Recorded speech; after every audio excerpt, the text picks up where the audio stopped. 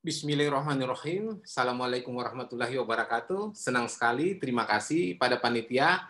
Kami diberikan kesempatan untuk melakukan presentasi eh, setelah kami mengirimkan abstrak kepada panitia. Pada hari ini senang sekali juga karena sempat hadir nantinya insya Allah pada pertemuan tahunan ISOI 2020. Perkenalkan kami Ma'ruf Hasim dari Universitas Halu Oleo, khususnya di Fakultas Perikanan dan Ilmu Kelautan, Universitas Halu Oleo. Eh, kebetulan kami juga adalah Pengda, eh, pengurus Pengda ISOI di Kendari, khususnya Sulawesi Tenggara. Bapak dan Ibu, Alhamdulillah eh, judul kami untuk webinar kali ini itu adalah perkatan. Jadi preferensi perkatan epifit pada talus Eucema denticulatum dan juga pada alat Vertinet. Kami uh, yang lakukan penelitian ini adalah bubutan bubut, kemudian uh, saya sendiri uh, anggotanya, kemudian Ibu Salvia, uh, Abdul Muiz, warga, dan memang bubut ini salah satu mahasiswa bimbingan kami yang melakukan penelitian ini. Kebetulan pada kali ini kami akan mencoba untuk mewakili untuk melakukan presentasi ini karena uh, ini berkaitan dengan uh, memang uh, penelitian yang sedang kami lakukan uh, tim penelitian yang kami uh, garap dan ini merupakan rangkaian dari penelitian yang dibiayai oleh Ristek Dikti. Bapak dan Ibu, budidaya rumput laut itu banyak dilakukan oleh masyarakat pesisir. Ya, karena budidaya rumput laut ini adalah salah satu komoditas yang mudah dibudidayakan dan memang komoditas yang kalau dibilang itu sangat gampang untuk menghasilkan uang. Cukup melakukan budidaya ini dan menyimpan rumput laut pada satu daerah, mengikatnya dan menunggu sampai 40-45 hari, kemudian kita panen dan kita jemur. Ini adalah harapan baru sebenarnya bagi masyarakat pembudidaya. Masyarakat banyak melakukan budidaya rumput laut karena investasinya cukup murah. Di samping investasinya cukup murah, juga melakukan budidaya ini juga mudah. Ya, dengan peluang lain kemudian mengikat dan menyimpan seperti yang saya bilang tadi itu cukup mendapatkan uh, dalam 45 hari cukup mendapatkan uh, dana ya untuk hasil panen dan apalagi saat ini harga rumput laut misalnya uh, walaupun statis tapi ada kecenderungan misalnya naik dan itu memang diharapkan bahwa harga ini akan terus berkembang dan ini akan menstimulasi banyak masyarakat yang melakukan budidaya. Banyak masyarakat yang akan turun ke lapangan dan kemudian melakukan budidaya rumput laut sebagai salah satu income bagi mereka. Saat ini apalagi di musim pandemi saat ini ya sangat terbatas eh, Eh, apa namanya sumber-sumber penghasilan yang mungkin dapatkan. Banyak masyarakat yang akhirnya terjun ke laut, maksud saya bukan terjun untuk berenang, tetapi kemudian terjun eh, ke daerah pinggir pantai untuk melakukan mendapatkan beberapa sumber-sumber income yang kemudian itu menjadi harapan bagi mereka untuk melakukan budidaya. Bapak dan Ibu, karena mudahnya melakukan budidaya rumput laut dengan sistem long line itu kemudian menimbulkan berbagai macam persoalan. Ya ada dua sebenarnya eh, rumput laut atau jenis rumput laut yang dibudidayakan oleh masyarakat. Yang pertama adalah Capapicus alvarezi, yang kedua adalah Eucema denticulatum. Walaupun memang kita mengenal ada beberapa daerah mengembangkan misalnya Gracilaria daerah tambak. Tapi yang kita bahas kali ini adalah satu jenis yang umum digunakan yaitu Eucema denticulatum. Budidaya Eucema denticulatum itu banyak dilakukan oleh masyarakat karena dia cukup tahan dan ya walaupun harganya cukup rendah tapi pertumbuhannya sangat tinggi. Dan ini merupakan alternatif yang dilakukan oleh masyarakat untuk melakukan budidaya rumput laut. Bapak dan Ibu, salah satu persoalan yang paling paling ya kalau dikategorikan memang tidak terlalu serius, tapi kemudian ini menjadi suatu persoalan yang cukup merepotkan masyarakat pesisir adalah perekatan epifit.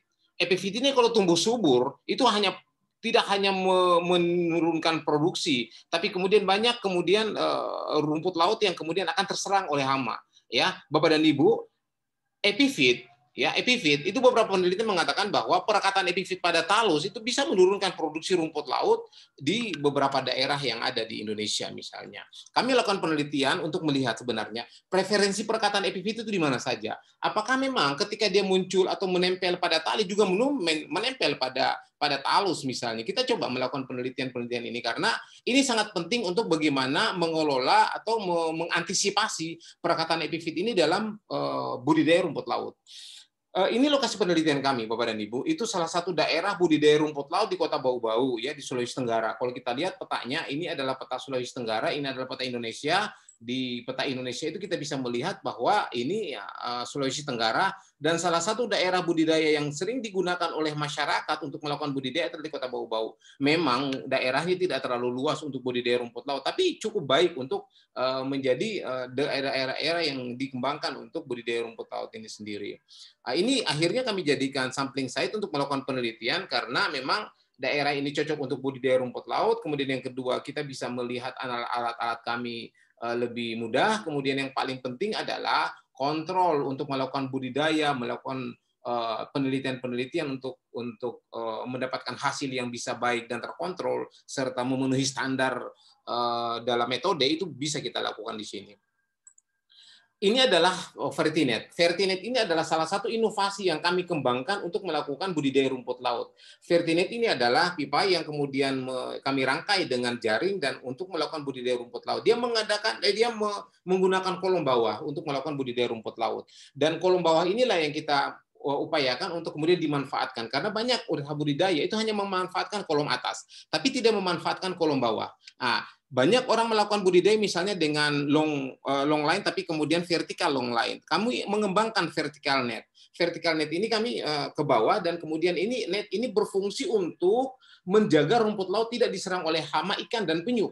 Ya, ya ini juga sebenarnya untuk meningkatkan tingkat keberhasilan dari penelitian kami karena yang kita ingin lihat adalah bagaimana sistem perekatan dari epifit dan memang tidak dimakan oleh ikan supaya data kami bisa dapat Bapak dan Ibu, eh, kami menyimpan Vertinet itu di eh, ada 40 talus yang kami simpan dalam setiap eh, Vertinet dan kemudian Eh, bobot dari setiap Vertinet ini metode kami ya itu adalah 50 gram ya. Kami letakkan di di empat uh, tempat yang berbeda di dua stasiun yang sudah saya sempat singgung di awal. Dan jenisnya adalah uh, Eucema denticulatum ya. Uh, memang yang pertama memang akan kami bersihkan bukan akan kami bersihkan uh, bibit dari Eucema denticulatum dari semua perkataan epifit ya. Kami betul-betul uh, upayakan supaya tidak terjadi kerusakan pada talus dan kemudian kami simpan pada uh, dalam Vertinet dan kemudian untuk melihat bagaimana apa yang terjadi setelah kami simpan uh, epifit ini. Uh, eh, maksud saya apa yang terjadi ketika uh, melakukan budidaya Eucema denticulatum? Kapan sistem pelaku perkataan dari epifit itu kemudian bisa ada? Dan memang ini kita akan mencoba untuk melakukan penghitungan setiap uh, 10 hari atau tapi di hari pertama itu sehari hari pertama itu kami melakukan pengamatan setiap tiga hari untuk melakukan mengetahui seberapa besar sebenarnya pelekatan epifit. Tapi sebelum tiga hari itu hari pertama itu tiap hari. Ya, ini untuk melihat apakah pada hari berikutnya itu sudah terjadi pelekatan atau belum? Itu kami amati.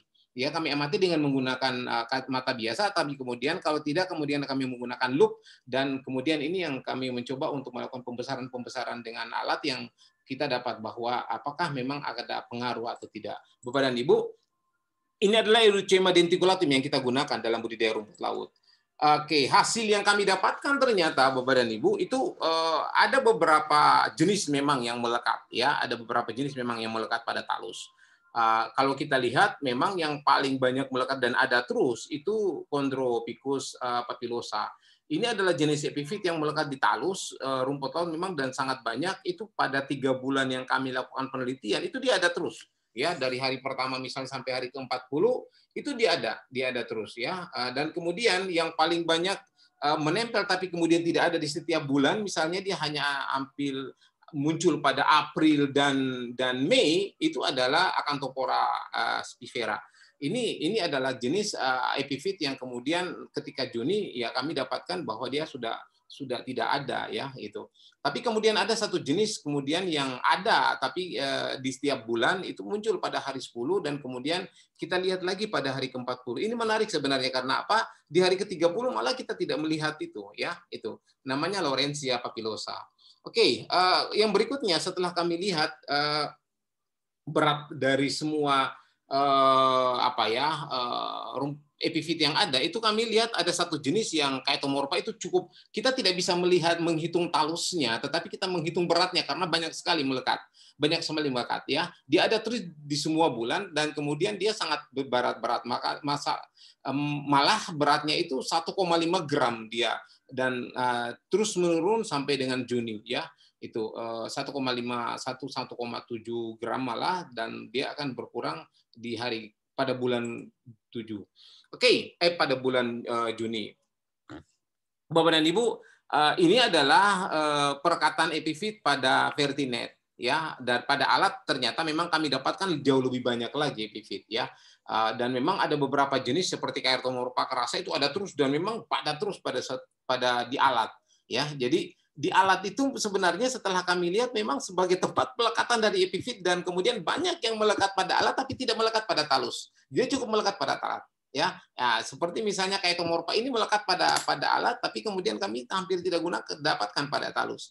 Kemudian juga ada padina misalnya itu tidak ada. Jadi dia hanya melekat pada alat ya itu. Dan sargasum misalnya atau atau misalnya kolepra misalnya itu kita dapatkan pada alat. Jadi ada berbeda ya Bapak dan Ibu berbeda antara yang melekat pada talus dan melekat pada uh, talus pada walaupun memang si kurungan ini itu adalah kurungan dari uh, rumput lautnya itu sendiri. Oke, okay, uh, eh, saya diminta tujuh menit saja presentasi lewat online ini. Oke, okay. uh, ini adalah berat dari ketomorpa kerasa yang kami timbang untuk di alatnya dan memang itu uh, terus ber, bertambah dan sangat uh, tinggi pertumbuhannya di bulan Mei. Ini adalah pertumbuhan dari apa namanya berat eh, dari siwit yang kami hitung, kami melihat apakah memang ada pengaruh perubahan eh, pertumbuhan siwit berkaitan dengan pelekatan epifit dan memang kami lihat bahwa tidak terlalu signifikan memang perekatannya ketika kita budidaya dengan vertinet.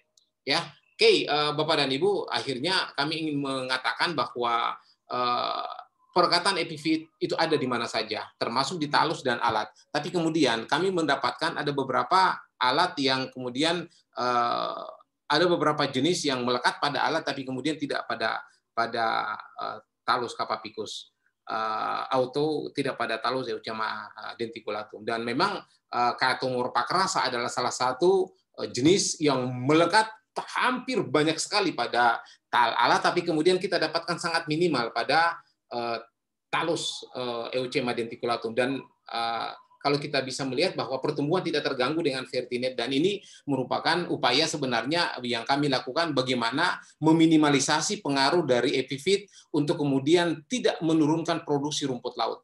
Dan kemudian kami juga melihat bahwa faktor lingkungan itu sangat berpengaruh terhadap proses uh, pertumbuhan dari rumput laut. Terima kasih Bapak dan Ibu. Uh, mohon maaf atas kekurangannya. Kami juga terima kasih kepada panitia. Presentasi ini kami uh, persembahkan dalam rangka kegiatan ISOI tahunan ini.